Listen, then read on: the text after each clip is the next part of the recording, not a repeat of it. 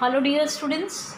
Today, we will discuss difference between long run production function and short run production function. Students, अपनी previous video में हमने production function के बारे में पढ़ा and types of production function दो तरीके के प्रोडक्शन फ़ंक्शन के बारे में मैंने आपको बताया।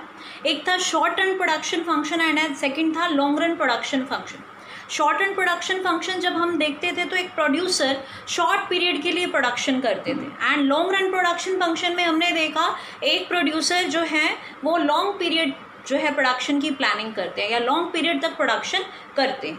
अब हम कुछ डिफरेंस फाइंड आउट करेंगे इन दोनों तरीके के प्रोडक्शन फ़ंक्शन के।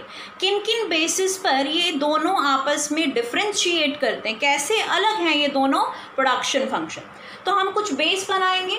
सबसे पहले फ़र्स्ट बेस मैंने डिफरेंस का जो है यहाँ पर मेंशन किया है, वो है short run production function is variable proportion type production function जो शॉर्ट रन प्रोडक्शन फ़ंक्शन होता है, उसमें जो प्रोपोर्शन होती है रेशो होती है फैक्टर्स की, वो क्या होती है? वेरिएबल नेचर की होती है।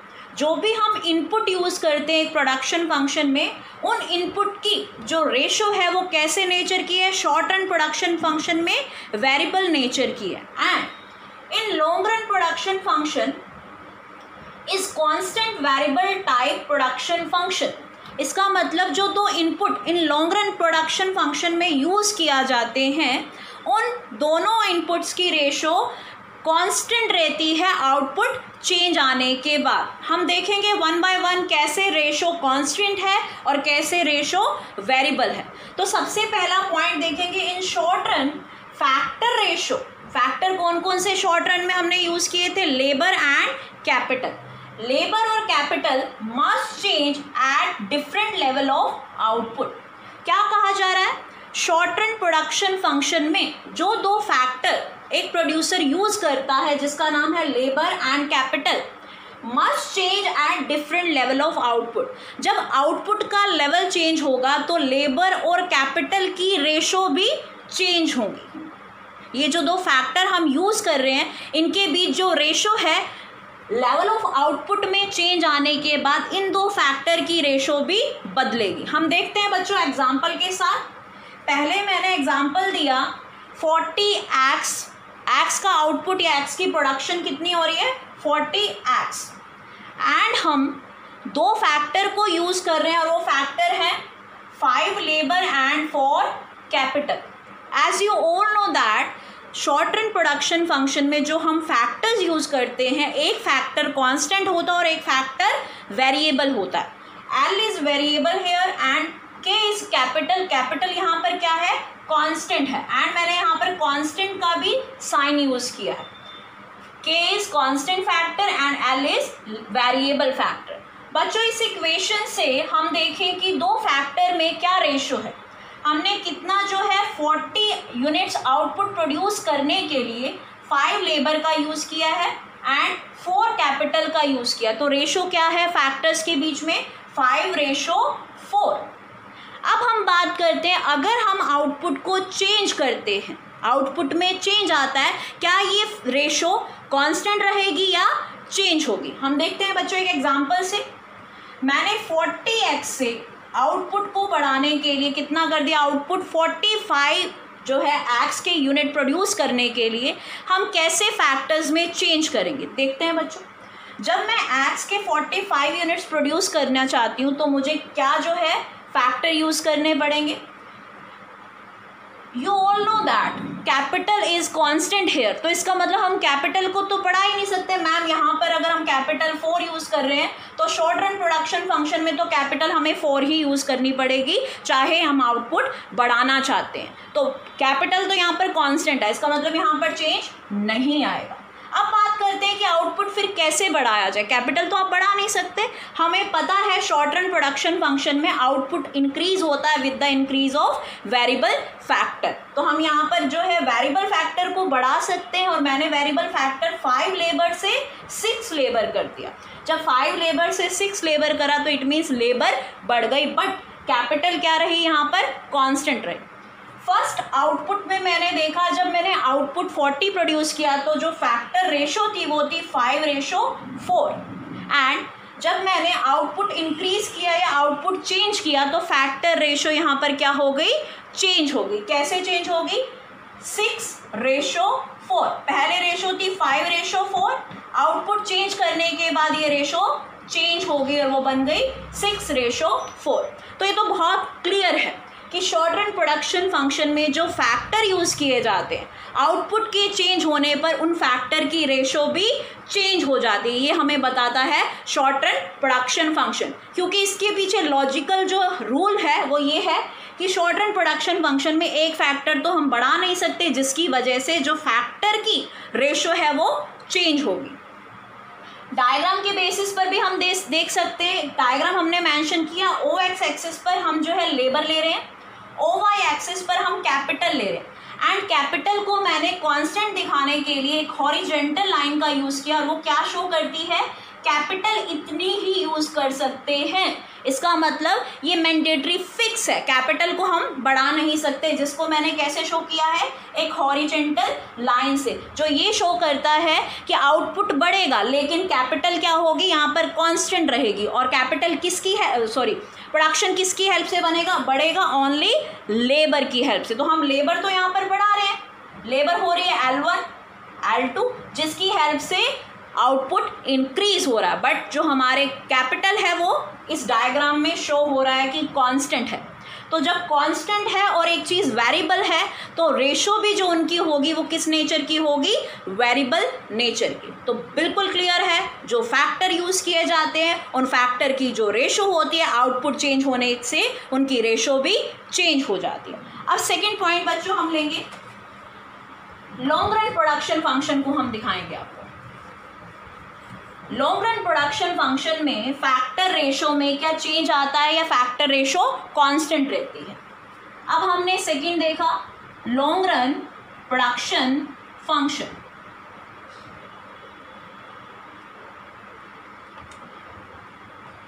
बच्चों लॉन्ग रन प्रोडक्शन फ़ंक्शन एक कैसा टाइम पीरियड होता है जहाँ पर जितने भी फिक्स फैक्टर जो शॉर्ट रन में थे। वो सारे फिक्स फैक्टर वेरिएबल फैक्टर में कन्वर्ट हो जाते हैं। हमारे पास इतना टाइम है कि हम अपने फिक्स फैक्टर को वेरिएबल फैक्टर में बदल सकते हैं। तो जब हम फिक्स फैक्टर को बदल सकते हैं वेरिएबल फैक्टर के अंदर तो यहाँ सारे फैक्टर्स क्या हो जाएँगे? वेरिएबल नेचर के होंगे। तो हम देखते हैं लॉन्ग रन प्रोडक्शन फ़ंक्शन में जो फैक्टर्स यूज़ किए जाते हैं, क्या उनकी रेशो कांस्टेंट रहती है या वेरिएबल रहती है? तो लॉन्ग रन प्रोडक्शन फ़ंक्शन के अंदर कांस्टेंट रेशियो रहती है between labour and capital constant ratio का मतलब लेबर और कैपिटल में जो चेंज आएगा with the change of output वो क्या रहेगा? कांस्टेंट नेचर में रहेगा। हम देखते हैं बच्चों कैसे कांस्टेंट रहती है लेबर और कैपिटल की ratio with the change of output सबसे पहले हम एग्ज़ाम्पल लेते हैं कि इनकी रेशो कांस्टेंट कैसे है, वो एग्ज़ाम्पल के थ्रू हम समझेंगे। पहले हम समझते हैं, हम एक्स के 40 यूनिट्स को प्रोड्यूस कर सकते, करना चाहते हैं फ़र्स्ट जो है इक्वेशन में। इसके लिए हम यूज़ कर रहे हैं five labour and four capital एक चीज़ नोटिस कीजिए बच्चों, मैंने यहाँ पर कैपिटल के ऊपर कांस्टेंट का साइन नहीं लगाया। इसका मतलब here labour and capital both are variable factor जब ये दोनों वेरिएबल फैक्टर है आई कैन चेंज बोथ दोनों को चेंज कर सकती हूँ in long run production function अब सेकेंड आता है, ये तो फ़र्स्ट इक्वेशन है। सेकेंड सिचुएशन में हम देखते हैं, हम आउटपुट इंक्रीज करना चाहते हैं। क्या इनकी रेशो में चेंज आएगा? हमने देखा यहाँ पर रेशो है फाइव रेशो फोर अब मैं आउटपुट को डबल प्रोड्यूस करना चाहती हूँ। आउटपुट को मैं एटी एक्स प्रोड्यूस करना चाहती हूँ। एक्स के एटी यूनिट्स को प्रोड्यूस करना चाहती हूँ। और एक टेक्निकल रिलेशनशिप हमने बताया था कि आउटपुट प्रोड्यूस करने के लिए कितने इनपुट्स का यूज़ होगा। यहाँ पर हमने हाफ़ इनपुट यूज़ करें तो डबल आउटपुट बनाने के लिए हमें डबल इनपुट्स की नीड होगी।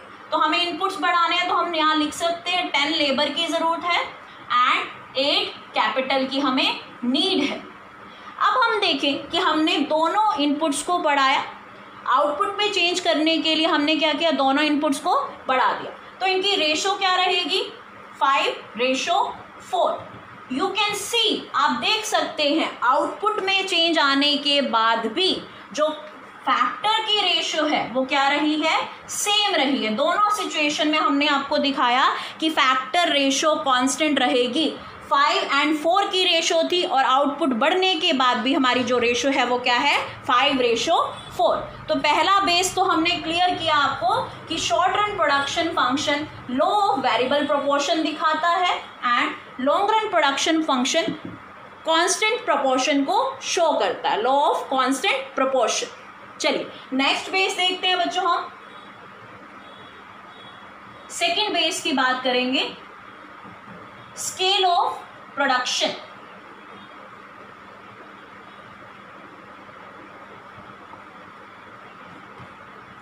प्रोडक्शन का स्केल क्या शॉर्ट रन में हम प्रोडक्शन का स्केल बढ़ा सकते हैं या लॉन्ग रन के अंदर प्रोडक्शन का स्केल बढ़ा सकते हैं? In short run some factors are constant in nature कुछ फैक्टर कांस्टेंट होते हैं। हम आउटपुट सिर्फ़ और सिर्फ़ किसके जो है बिहाफ पर बढ़ा सकते हैं? वेरिएबल फैक्टर इसका मतलब जो आउटपुट है, एक लिमिट तक, एक रेंज तक हम बढ़ा सकते हैं। उसके बाद हम आउटपुट को इंक्रीज नहीं कर सकते। इसका मतलब हम अपने आउटपुट का स्केल नहीं बढ़ा सकते, अपने प्रोडक्शन का स्केल नहीं बढ़ा सकते। एग्जांपल लेते हैं हम लोग।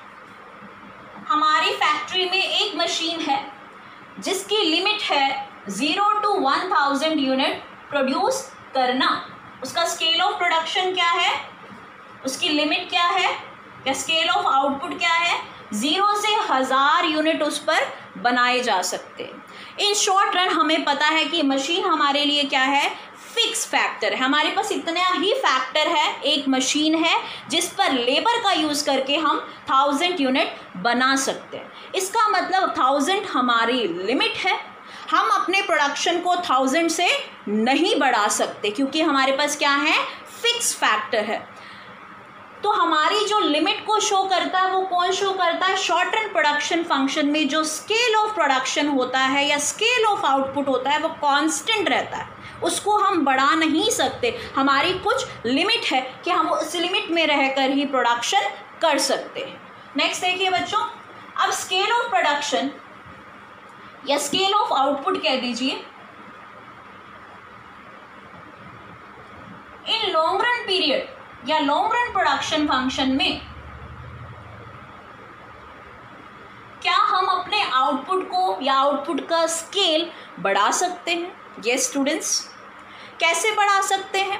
क्योंकि वहाँ पर कोई भी फैक्टर फिक्स फैक्टर नहीं है। पहले तो हमारे पास लिमिट था कि एक मशीन है, उसी पर हमें काम करना है in short run period function and अगर मैं लॉन्ग रन पीरियड की बात करती हूँ तो मैं बहुत सारी मशीन्स खरीद सकती हूँ। जब नई मशीन खरीद सकती हूँ तो और लेबर लगाकर उस पर प्रोडक्शन भी बढ़ा सकती हूँ। इसका मतलब जो मेरा आउटपुट था इन शॉर्ट रन वो फिक्स था कि मैं इतना आउटपुट एक फिक्स फैक्टर की हेल्प से बना सकती हूँ।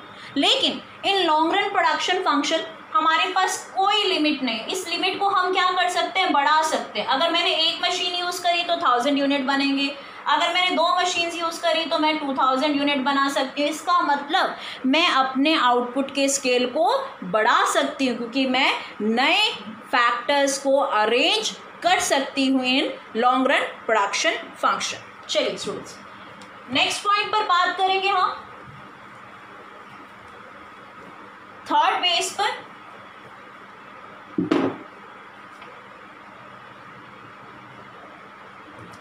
और थर्ड बेस है हमारा short run production function